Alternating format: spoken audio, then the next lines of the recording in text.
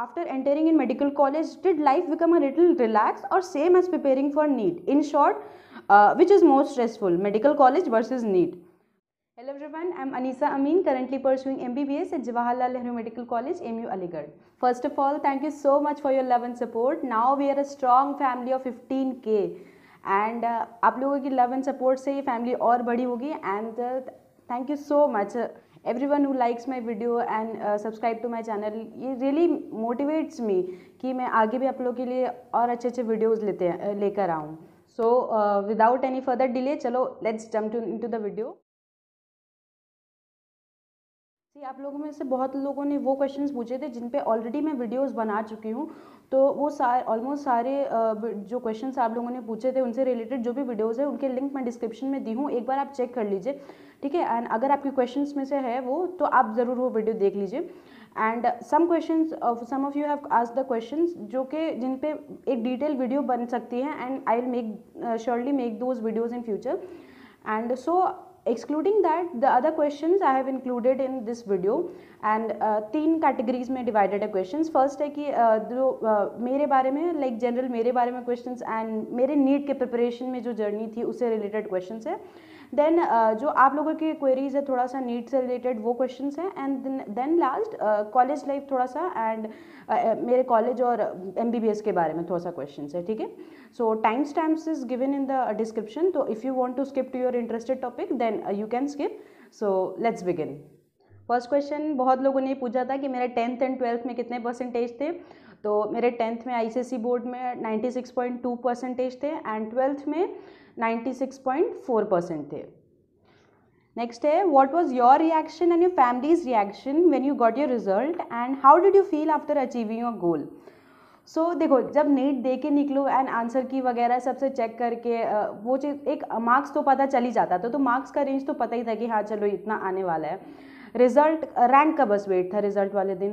And best part was that कि result जो था, वो ईद के दिन था, ठीक है? 2019 में ईद के दिन रिज़ल्ट था। And I was celebrating that Eid after two years जो साल मैं प्रिपरेशन में थी, जब कोचिंग में थी तो मैंने ईद भी सेलिब्रेट नहीं की थी। मैं पढ़ाई में लगी रही थी तो that was I was waiting for the result and result जो था बस हाँ रैंक जब आया जैसे तो पिछले साल 2018 के कंपैरिजन uh, में मुझे नहीं पता था कि पेपर uh, मतलब कंपटीशन इस बार इतना ज़्यादा हो जाएगा या फिर उस पेपर का आसान लेवल आसान था तो रैंक बहुत पीछे चल जाएगी। आई वॉज़ एक्सपेक्टिंग कि मुझे ट्रिपल डिजिट डिजिट में रैंक आ सकते हैं because comparison to the marks of the two thousand eighteen but जब रैंक आया तो मेरा रैंक 1256 था। तो I was a little disappointed but उसके बाद जो पापा मम्मी को जो कॉल्स और मैसेजेस और सबके जो विशेज़ आने लग गए एंड वो जो खुशी थी पापा के फेस में एंड पापा मम्मी के फेस में, वो देख के मैं सब भूल गई एंड उसके बाद वो खुशी प्राइसलेसली लग रही थी एंड वो देख के लगा कि चलो, जो मेहनत थी मेरी एंड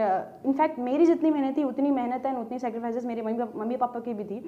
तो वो सब देख के लगा कि चलो, मेहनत सफल हो गई एंड पापा के लिए डबल खुशी थी क्योंकि मैं और मेरी एक जो बड़ी बहन है, जो मुझसे जस्ट वन वन ईयर बड़ी है उन्होंने एक साल का ड्रॉप लेके हम लोग दोनों ने साथ में नीट क्लियर किया। तो जब पेपर में फ़ोटो आया कि चलो, दोनों बेटियों का नीट में अच्छा रैंक आया है तो वो भी ईद के दिन तो पापा के लिए डबल खुशी थी तो जो सबके विशेज़ आ रहे थे that was priceless next question did you use smartphones और watch T V and stuff like this during knee preparation honestly speaking नहीं। मैंने स्मार्टफ़ोन वगैरह टीवी वगैरह, ये सब प्रिपरेशन के टाइम नहीं देख यूज़ किए थे। क्योंकि आई नो कि मेरे में उतना सेल्फ डिसिप्लिन नहीं है। इसीलिए मैंने वही कोचिंग चूज़ की।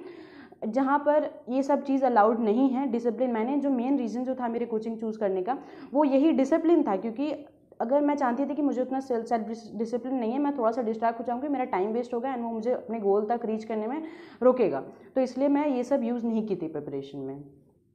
Next question is did you ever felt like giving up और demotivated by preparing for NEET so so, हाँ एक फ़ेज़ ऐसा आया था जब मेरे प्रिपरेशन फ़ेज़ में। देखो जब स्टार्टिंग में मैं प्रिपरेशन करी थी तो I was in a batch जब एवरेज स्टूडेंट थे सभी बच्चे एवरेज थे। तो वहाँ मुझे आदत थी कि हाँ चलो मेरे rank top ten top five हमेशा आते थे। And then I told in some one of my videos कि मैंने जब उसके बाद एक मेरा सेक्शन चेंज हुआ because of the rank and all तो एक जो बैच था वहाँ सभी बच्चे like you know topper level के थे। सभी बच्चे बहुत अच्छे थे। तो I was not expecting and वहाँ जब फ़र्स्ट टेस्ट हुआ था, मेरा रैंक जो था फोर्टी थ्री फोर्टीज़ में या थर्टीज़ में मेरा रैंक कंटिन्यूसली एक दो एक दो टेस्ट में आ रहे थे, क्योंकि वहाँ के वहाँ के लेवल के क्वेश्चन लेवल्स भी बहुत हाई लग हाई लग रहे थे, ठीक है? एंड उसी वक्त मेरा हेल्थ इश्यूज़ भी स्टार्ट हो गया था, ठीक है? मतलब कुछ प्रॉब्लम हो रहा था मेरे हेल्थ के साथ, जिसकी वजह से मैं पढ़ाई पे कॉन्सेंट्रेट नहीं कर पा रही थी। एंड उसकी वजह से and that created a more stress over me ठीक है? तो एक फ़ेज़ ऐसा आया था जब I was like really about to give up कि मुझसे नहीं हो पाएगा। एंड uh, लग रहा था कि यार मुझे कोई गवर्नमेंट कॉलेज नहीं मिल पाएगा। तो लेकिन हाँ उस वक्त जो उस वक्त हम मैंने कैसे कोप अप किया वो मेरे पेरेंट्स जो थे उनके उनका कांस्टेंट सपोर्ट रहा वो हमेशा मुझे मॉरली सपोर्ट करते रहे। एंड हाँ मैं वही सेल्फ टॉक करती थी कि हाँ तू इतनी सेक्रीफाइसेस कर रही है तो इसका इसको बर्बाद नहीं जाने देना है। और मेहनत करते रहना बस I was continuously like doing my work मैं मेहनत कर रही थी, उस वक्त मुझे रिज़ल्ट नहीं मिल था। बट जो जो, जैसे जैसे पढ़ाई होता जा रहा था, मैं कंप्लीट किसी तरह करते जा रही थी। एंड उसका रिज़ल्ट जब मुझे लास्ट में, जब पूरा सिलेबस खत्म हो गया जब रिविजन स्टार्ट हुआ, तब मुझे उस वक्त उसका रिज़ल्ट मुझे मिला। जब शुरुआत में उस वक्त प्रेजेंटली मुझे रिज़ल्ट नहीं मिल रहा था, लेकिन जब रिविजन का टाइम मुझे आसानी हो रही थी, वो सारी चीज़ें पढ़ने में, तब लगा कि नहीं, वो मेहनत बर्बाद नहीं गई। तो आई वुड लाइक टू से कि आप कभी भी मेहनत कर रहे हो ना, एक चीज़ दिमाग में रखना कि वो मेहनत कभी बर्बाद नहीं जाएगी, आपको उसका रिज़ल्ट ज़रूर मिलेगा। उस टाइम नहीं तो बाद में ज़रूर मिलेगा। Next question is since you lived alone away from your family how did you keep yourself motivated and kept going so इसका आंसर जो है क्वेश्चन में ही है, क्योंकि मैं अपनी फैमिली से दूर रही थी। तो वो जो दूर रहने का जो ये था सेपरेशन था तो वो वो एक बहुत बड़ा रीज़न था कि मैं जब अपनी फैमिली से दूर रह रही हूँ, इतनी सारी चीज़ें सेक्रीफाइस कर रही हूँ तो इसे बर्बाद क्यों जाने दो? वाई गो इन वेन तो इसका अच्छे से यूज़ करो और बस एक चीज़ दिमाग में थी, जब मैं घर छोड़ के जब मतलब जा रही थी, पहली बार घर से निकल रही थी मतलब फ़र्स्ट टाइम था यार घर से बाहर निकल के बहुत दूर जाके प्रिपरेशन करना तो बस एक ही चीज़ दिमाग में थी कि आगे दो साल सब भूल के बस नीट की प्रिपरेशन करनी है, बस जान लगा देना, अपना बेस्ट देना पढ़ाई में। बस ये चीज़ दिमाग में थी और भले लो मोमेंट्स आए, लेकिन हाँ बस अपने आप को मोटिवेटेड रखा कि यार, नहीं, बस ये दो साल की तो बात है, बस दो साल की तो बात है, बस सब कुछ लगा दे, दो साल की बात है, उसके बाद तो लाइफ में आगे बहुत कुछ है। तो बस वो चीज़ अंदर से मोटिवेट करती थी and self talk and self motivation is very important आपको भी कभी जब डिमोटिवेटेड आप फील करो तो खुद से बात करो, यार, खुद को मोटिवेट करो, अपने रूज जब आप क्विट करने की सोचो ना तो सोचो आपने स्टार्ट क्यों किया था? क्या वो ड्रीम था? आपने स्टार्ट क्यों किया था? वो आपको अपने आप मोटिवेट करेगा। कुछ नहीं तो मैं हमेशा बोलती हूँ कि जब आपको कुछ नहीं मोटिवेट करे ना तो आप रिज़ल्ट वाले दिन को इमेजिन करो कि आप कैसा चाहते हो उस दिन how you want that day to be आपको अपने आप मोटिवेशन आ ही जाएगा। Next question is from home did you get the inspiration to become a doctor M B B S करने का सबसे बड़ा रीज़न क्या था? And did you plan and research about your journey from childhood like when you were teen so देखो uh, ऐसे तो मेरे फैमिली बैकग्राउंड में बहुत दूर दूर तक कोई भी मेरे फैमिली में डॉक्टर है नहीं। तो मुझे ऐसे एज सच इन पर्सन किसी पर्सन से इंस्पिरेशन नहीं मिली थी डॉक्टर बनने की। बट हाँ पापा का बचपन से ड्रीम था कि हाँ मेरी बेटी यहाँ डॉक्टर बने एंड मेरा भी सपना था। तो बस वो एक चीज़ थी कि हाँ बचपन से मैंने और कुछ सेकंड सेकंड थॉट लाया ही नहीं, कभी कोई प्लान प्लान बी था ही नहीं मेरे दिमाग में कि प्लान डॉक्टर के अलावा कुछ प्लान हो मेरे दिमाग में। मेरे दिमाग में बस डॉक्टर था कि बस, बचपन से था कि बड़े होकर बस डॉक्टर बनना है। तो दैट दैट्स इट मतलब वही था मेरे लिए एक सपना तो बस उसके लिए मेहनत की। एंड ऐसे कोई रिसर्च तो की नहीं थी कि मैं कहाँ ज्वाइन करूँ कैसे प्रिपरेशन करनी है ये वो। बस एक कोइंसिडेंट था पापा के एक दोस्त की बेटी ने जिस कोचिंग से पढ़ के फ़र्स्ट अटैम्प में निकाला था तो वहाँ से थोड़ा बहुत पता लगाया एंड फिर वहाँ जाके ज्वाइन कर लिया। अब बहुत लोगों ने ये क्वेश्चन पूछा है कि मैंने अपनी कोचिंग कहाँ से की है? तो uh, मैंने अपनी coaching Sri Chaitanya educational institution से की है जो विजयवाड़ा में एक वैभवी ब्रांच है जो कॉमन नेम उनका गोसाला ब्रांच है। मैंने वहाँ से की है। नेक्स्ट क्वेश्चन इज़ आपको फ़र्स्ट टेस्ट में इलेवंथ में आपको कितने मार्क्स आए थे? How many marks you scored in your first test in eleventh देखो फ़र्स्ट टेस्ट था क्योंकि वो पहला टेस्ट था एंड पहले शुरुआत में सभी को जोश होता है एंड वो बहुत आसान था टेस्ट ठीक है? बहुत जन मतलब जनरल क्वेश्चन बस बेसिक्स क्वेश्चन थे। तो इसमें I score six sixty six उसके बाद सारे क्वेश्चन में, उसके बाद जितने भी टेस्ट हुए इलेवंथ के स्टार्टिंग में I my marks was in the range of five hundred five fifty five ten इस तरह के रेंज में थे। फाइव हंड्रेड से लेके फाइव एट्टी तक के रेंज में ही थे मेरे marks next question is approximate number of test you have solve for NEET देखो क्योंकि मेरे कोचिंग में वीकली टेस्ट होते रहते थे एंड उसके बाद कभी कभी एक वीक में दो भी हो जाते थे एंड द लास्ट मंथ जब नीट करीब था तो बहुत फ्रीक्वेंटली बहुत ज़्यादा फ्रीक्वेंटली टेस्ट होते थे, ठीक है? हर दो दिन में, एक दिन में टेस्ट होते थे। एंड सो अगर मैं टोटल लगाऊँ अप्रॉक्सीमेटली तो one fifty two two hundred test I have solve before NEET and the last question in this category is how was your overall journey so my overall journey as I mention in some about section was like a roller coaster ride ठीक है? Now come to the next category जो आप लोगों ने question पूछे थे। तो during NEET preparation in how many days we can take a break from our studies to get regenerated देखो uh, मैं जैसा, मैं अपना एक्सपीरियंस जैसे बता रही हूँ तो जो तीन चार महीने में हमें छुट्टी मिलते रहती थी, एक हफ़्ता की, ठीक है? एक हफ़्ते की, दस दिन की। तो you can take break in like total break मतलब पढ़ाई से बिल्कुल थोड़ा सा, ये मैं उनके उनके लिए कह रही हूँ, जो इलेवेंथ एंड ट्वेल्थ में है, ठीक है? जो साथ साथ ही साथ प्रिपेयर कर रहे हैं। ड्रॉपर्स के लिए ये चीज़ नहीं है, ठीक है? तो जो इलेवेंथ एंड ट्वेल्थ के साथ पढ़ाई कर रहे हैं, वो उनको, उनके लिए ये चीज़ है कि अगर आप मतलब तीन चार महीने अगर कंटिन्यूसली रेगुलसली पढ़ाई कर रहे हो तो तीन चार महीने के बाद आप एटलीस्ट मतलब चार पाँच दिन या एक हफ़्ता, दस दिन के लिए आप ब्रेक ले सकते हो। उससे आपका माइंड सच में फ्रेश हो जाएगा एंड आप फिर से बहुत एनर्जी के साथ पढ़ाई कर सकते हो। Then someone asked ki I am not able to solve the question of class 11 syllabus of NEET. Is it okay? तो देखो क्ला आप टेंथ से इलेवन में जाओगे सिलेबस में डिफरेंस रहता है ठीक है बहुत ज़्यादा डिफरेंस होता है। तो आप क्वेश्चन uh, सॉल्व नहीं कर पा रहे हो दैट्स ओके बट आप उसके लिए ट्राई भी नहीं करो मेहनत भी नहीं करो वो स्ट्राइव भी नहीं करो कि क्यों नहीं सॉल्व हो रहे और उसके मतलब सॉल्व करने की कोशिश भी ना करो दैट्स नॉट ओके आपको कोशिश पूरी करनी है मेहनत पूरी करनी है और आप ट्राई करते रहोगे तो आपसे ज़रूर सॉल्व होंगे। Then next question is how to understand the concept before attending the class देखो ये प्रैक्टिकल आंसर अगर मैं दूँ इसका तो ये पॉसिबल मतलब आसान नहीं है कि आप सब कुछ अपने से पढ़ के समझ सको एंड आपका उसमें थोड़ा सा टाइम वेस्ट भी ज़्यादा होगा कि अगर आप क्लास अटेंड करने टीचर के समझाने से मतलब कोई भी कॉन्सेप्ट टीचर के समझाने से पहले आप उसको पूरी तरह समझने की कोशिश करो तो ये पॉसिबल नहीं है। सो आई विल सजेस्ट कि देखो, जो आपका प्रेजेंट पढ़ाई हो रहा है ना, जैसे आज आपका जो चीज़ पढ़ाई हुआ, उसका, उसको आप पहले कॉन्सेंट्रेट करो और उसको अच्छे से कंप्लीट करो। जो पढ़ाई हुआ, उसको अच्छे से नोट्स वगैरह पढ़ के, अच्छे से क्वेश्चंस वगैरह सॉल्व करके वो अच्छे से कंप्लीट करो। तब आप फ्यूचर या पास्ट के बारे में पास्ट का पढ़ाई करो, ठीक है? पहले जो प्रेजेंट चल रहा है ना, उसे अच्छे से करो, ठीक है? उसके बाद अगर आप आगे फ्यूचर का पढ़ना चाहते हो तो आप एक ग्लिम्स देख लो, ठीक है? आपको थोड़ा आइडिया हो जाएगा कि, ओके, टॉपिक में है क्या? पूरी तरह से समझ नहीं आएगा। फिर जब आप क्लास अटेंड करोगे, तब आपको समझने में आसानी होगी, लेकिन बिना क्लास अटेंड किए आपको पूरी तरह से समझना मतलब आसान नहीं है। Next question is test series कब ज्वाइन करनी चाहिए? तो टेस्ट सीरीज़ मैं वो सजेस्ट करूँगी कि आप जब से अपनी प्रिपरेशन स्टार्ट कर रहे हो ना स्टार्टिंग से आप टेस्ट सीरीज़ अगर ज्वाइन करो स्टार्टिंग से आप इवेल्युएट करते रहोगे खुद को तो वो बेटर रहेगा। तो आप जितना जल्दी हो सके आप टेस्ट सीरीज़ ज्वाइन कर लो। ठीक है? स्टार्टिंग से ज्वाइन करो और टेस्ट देते रहो। रेगुलर टेस्ट देना बहुत ज़रूरी है। Next question is how to be motivated when your marks in mock test is not good even after hard work तो देखो ये सभी के साथ ऑलमोस्ट कभी कभार होता है, मेरे साथ भी हुआ था कि लाइक आप एफर्ट तो पूरा डाल रहे हो, लेकिन आप मार्क्स पूरे नहीं आ रहे तो इससे डीमोटिवेटेड नहीं होना। हाँ बुरा हमें ज़रूर लगेगा because we are humans and हमने इतनी एफर्ट पुट की है तो उसका रिज़ल्ट नहीं मिलेगा तो हमें बुरा लगेगा। लेकिन try to analyse the paper कि आपने आपको मार्क्स क्यों नहीं आ रहे? आप प्रिपरेशन सही कर रहे हो तो आप पेपर सही से अटैम्प्ट नहीं कर रहे हो या फिर आप मतलब पेपर में पैनिक हो जा रहे हो कॉन्फिडेंस मतलब कॉन्फिडेंस नहीं है आपका कॉन्फिडेंस नहीं तो फिर आपका क्यों नहीं कॉन्फिडेंस है?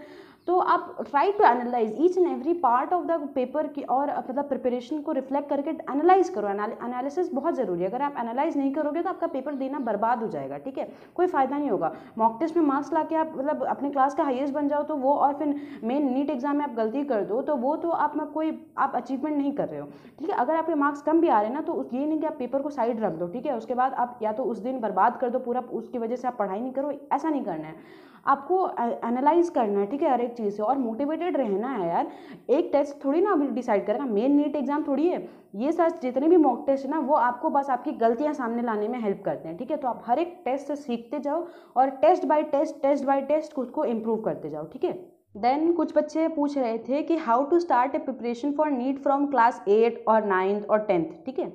तो देखो, उन बच्चों के लिए मैं ये कहूँगी कि क्लास एट नाइन टेंथ में आपका जो आपका प्रेजेंट जो सिलेबस है ना, एट नाइन टेंथ का, आप बस उस पर फोकस करो एंड आप अभी थोड़ा सा मतलब उस लेवल में जितना पढ़ाई चाहिए एट नाइन टेन में, आप उतना पढ़ो और तो साथ में थोड़ा बहुत इन्जॉयमेंट करते रहो।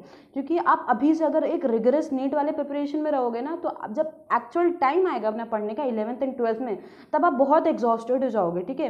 एंड मैं खुद एग्जाम्पल्स देखी हूँ अपने सामने, जो बच्चे मतलब सेवन्थ एट नाइन टेंथ से मतलब नीट का प्रिपरेशन करने के इतना एम एंड बहुत हाई लेवल वो पढ़ने का, उस टाइम से कोशिश करते हैं तो जब एक्चुअल टाइम आता है इलेवन ट्वेल्व में लास्ट लास्ट तक, तब वो इतना एग्जॉस्टेड हो जाते हैं, वो इतना उब जाते हैं पढ़ाई से कि उनका उस वक्त मन मन नहीं करता पढ़ने का। तो आपके साथ ये ना हो, इसलिए आप अभी प्रेजेंट नाइन टेंथ में जो सिलेबस है, उस पर आप फोकस करो और अपने टेंथ के बोर्ड्स पे ध्यान दो। बोर्ड्स में अच्छा मार्क्स आएगा तो कॉन्फिडेंस भी बूस्ट अप होगा एंड बोर्ड अगर नाइन्थ नाइन्थ टेंथ का सिलेबस आप अच्छे से पढ़ोगे तो आपका बेसिक स्ट्रॉन्ग रहेगा तो आपको इलेवंथ के सिलेबस इलेवन ट्वेल्थ के सिलेबस में भी आपको हेल्प होगी, ठीक है? तो आप अभी प्रेजेंटली नाइन टेंथ पर ही ध्यान दो। Next question is how to maintain our health in the last few months of need as they are very stressful. तो देखो in the last few months नहीं, मैं पूरे प्रिपरेशन की बात कर रही हूँ, आपका जो हेल्थ होना चाहिए, वो आपके नीट प्रिपरेशन आपके सब कुछ, सारे प्रायोरिटीज से सबसे ऊपर होना चाहिए। आपका हेल्थ अच्छा रहेगा, तभी आप पढ़ाई अच्छे से कर पाओगे, ठीक है? तो हेल्थ फ़र्स्ट प्रायोरिटी होनी चाहिए, इसलिए मैं हमेशा बोलती हूँ कि यार, कभी स्लीप को सेक्रीफाइस नहीं करना है, जो एडिक्वेट स्लीप है आपकी, उसे अच्छे से लो, उसके बाद आप बाकी बचा हुआ दिन का एकदम इफेक्टिवली इस्तेमाल करो, ठीक है? और स्ट्रेस वगैरह नहीं लेना है, बस जो गलती हो रही है, वो सीखते जाना है, ठीक है? बिकॉज़ अगर आपके हेल्थ इफ़ेक्ट होगी तो आप पढ़ाई नहीं कर पाओगे सही से। एंड लास्ट फ्यू मंथ्स में तो इवन आपको, आप शुरुआत में भले आपको मार्क्स कम आ रहे प्रिपरेशन में मार्क्स कम आ रहे तो आप अगर वरी कर रहे हो, ठीक है, अच्छे से उस उस वक्त आपको स्ट्रेस लेने की थोड़ी ज़रूरत है, आपको थोड़ा सा, क्योंकि वो आपको एक पुश देगी और आपको मेहनत करने की ज़रूरत है स्टार्टिंग में, ठीक है, अच्छे से। लेकिन लास्ट जो एक दो मंथ रहते हैं ना, उस वक्त आप जितना ज़्यादा रिलैक्स रहोगे, जितना ज़्यादा खुश रहोगे और खुश होकर प्रिपेयर करोगे वो उतना ही ज़्यादा आपके लिए नीट के लिए बेटर होगा। और आप खुश तभी रहोगे जब आप स्टार्टिंग से कंसिस्टेंसी के साथ अच्छे से मेहनत करते रहोगे। तब आपका प्रिपरेशन सही लेवल पे रहेगा एंड लास्ट में आपको सफ़र नहीं करना पड़ेगा। ठीक है? एंड कुछ बच्चे ये पूछ रहे थे कि लाइक अभी सिक्स मंथ बचा है सेवन मंथ बचा है आई एम एवरेज स्टूडेंट मैं ज़ीरो से हूँ ज़ीरो लेवल है मेरा प्रिपरेशन क्या अभी मैं कर सकता हूँ कि नहीं? ये सिर्फ़ ये क्वेश्चन आपको मुझसे पूछने की ज़रूरत नहीं ये क्वेश्चन आपको खुद से पूछने की ज़रूरत है। इनफैक्ट आपको ये क्वेश्चन पूछने की ज़रूरत नहीं है। आपके पास अभी तो इतना टाइम है छः छः महीने, सात महीने हैं, अभी आप नीट के लिए अच्छे से पढ़ाई करो यार।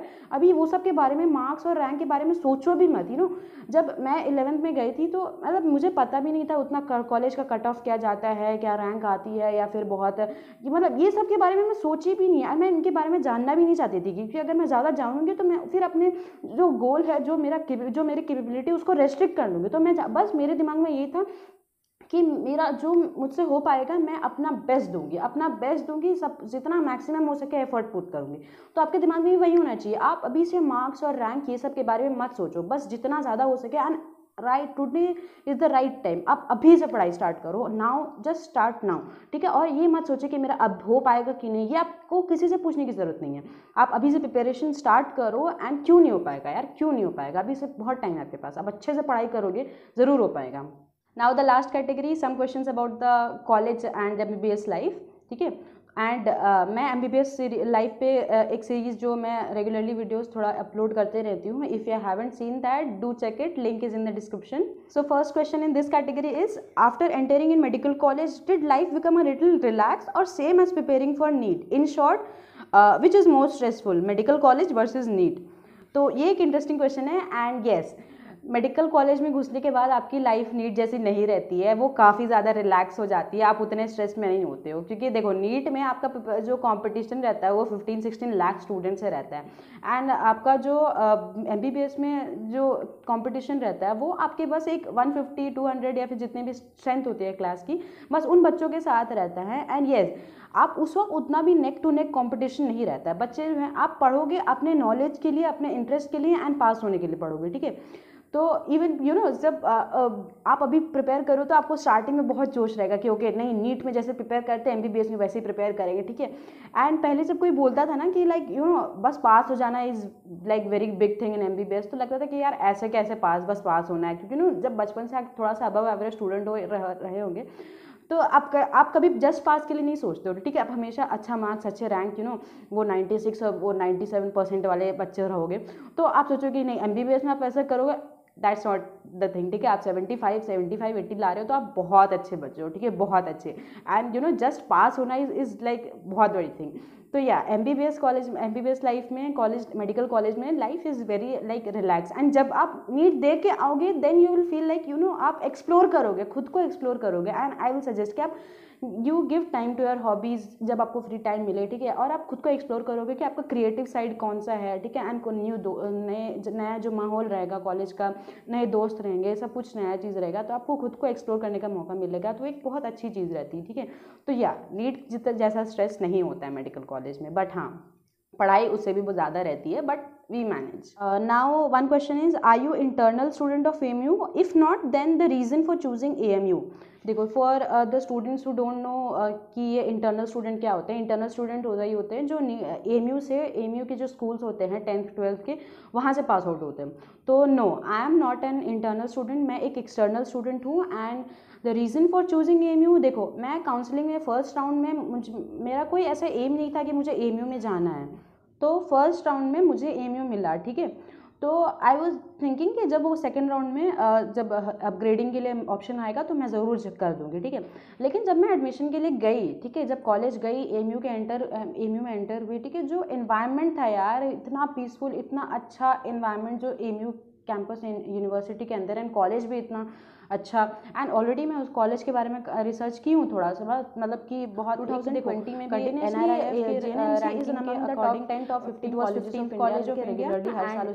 आउटलुक आई केयर रैंकिंग के according it was the fifth best medical college of India ठीक है?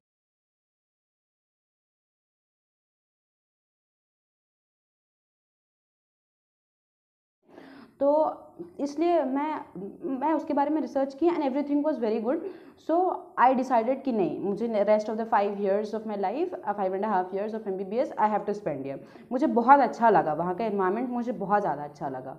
This question is rank of J N M C in top medical colleges तो मैं ऑलरेडी बता चुकी हूँ आपको रैंक इसकी कि देखो एन आर आई एफ़ की रैंकिंग के अकॉर्डिंग इस was in twenty twenty twenty it was fifteen best medical college of India and outlook I care ranking के according it was fifth best medical college of India and the last question of this session is uh, how do you manage YouTube and your education and what is the reason for opening YouTube channel so देखो you first thing is कि देखो ये lockdown चल रहा था तो I we all had a little extra time ठीक है about apart from our education ठीक है? And it is all about the skill of time management अगर आप टाइम मैनेजमेंट के स्किल को सीख जाते हो तो you can balance your studies and your hobbies and your extra curricular activities ठीक है? तो ये तो था कि एडुकेशन ऑन यूट्यूब को मैनेज करना इज़ ऑब्वियसली पॉसिबल बिकॉज़ आप, ये आप पर डिपेंड करता है कि जो आप, आपका एक्स्ट्रा टाइम है या फिर अपना टाइम को कितना अच्छे से यूटिलाइज कर रहे हो, कहाँ पर उसे टाइम दे रहे हो, कोई बकवास चीज़ में या फिर ऐसे टाइम वेस्ट करने में वेस्ट करो या फिर कुछ प्रोडक्टिव करने में इस्तेमाल कर रहे हो, ठीक है? And the reason for opening YouTube channel is देखो, जो मेरे, मैंने सोचा कि जो मैं दो साल की अपने प्रिपरेशन जर्नी में जो मैं सीखी, जो मुझे लेसन मैं सीखी, जो गलती मुझसे हुई why not share with the other NEET aspirants की उनके हेल्प हो? एंड ये एक मिथ मुझे जो छोड़ना था कि बहुत बच्चों में ये चीज़ होती है कि देखो फ़र्स्ट अटैम्प उनके एक मन में होता है कि यार फ़र्स्ट अटैम्प्ट में नीट क्लियर करना आसान नहीं है, आसान नहीं है, ठीक है? अगर फ़र्स्ट अटैम्प फ़र्स्ट अटैम्प्ट में बस ऐसे अटैम्प्ट करते हैं और अगर नहीं अच्छा हो तो कोई बात नहीं ड्रॉप ले लेंगे। तो I want to change that mentality कि नहीं यार फ़र्स्ट अटैम्प्ट में ही अपनी जान लगा दो फ़र्स्ट अटैम्प्ट में ही नीट निकालना इज़ पॉसिबल एंड आप अच्छे से करो, बहुत बच्चे करते हैं। तो अगर आप अच्छे से मेहनत करोगे स्टार्टिंग से तो क्यों नहीं कर पाओगे? एंड अगर आपको टाइम तो देना ही होगा पढ़ाई में, अगर अभी नहीं तो बाद में देना होगा में एक रिग्रेट रहेगा थोड़ा सा और प्रेशर ज़्यादा रहेगा। तो विदाउट वो प्रेशर के वाई नॉट स्टार्टिंग से मेहनत करो और अच्छे से फ़र्स्ट अटैम्प में ही नीट निकालो। तो दैट मैंटेलिटी कि हाँ फ़र्स्ट अटैम्प में ट्राई मारते हैं सेकेंड मतलब फिर नहीं अच्छा हुआ तो ड्रॉप ले लेंगे। ये मैंटेलिटी चेंज करने के लिए भी एक रीज़न था यूट्यूब चैनल चालू करने का। So that's all. I hope you enjoyed it. If you liked it, then do hit that like button. It really motivates me to bring useful videos for you all. And yes, in case you are new to this channel, then uh, do check out the other videos. And if you think they are useful, then uh, do click the subscribe button for the all the efforts that have been put to make the videos. So thank you. All the best. Lots of love and keep us.